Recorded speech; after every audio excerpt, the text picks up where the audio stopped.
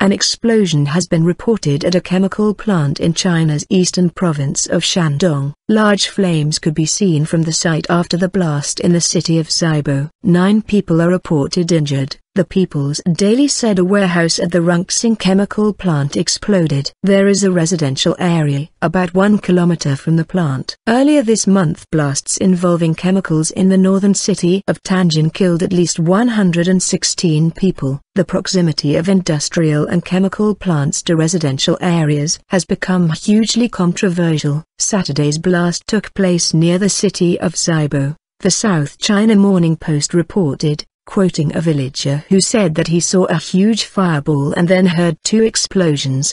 The paper said that the fire had been brought under control by late on Saturday night. It is not yet clear if homes in the area have been damaged. Adiponitrile.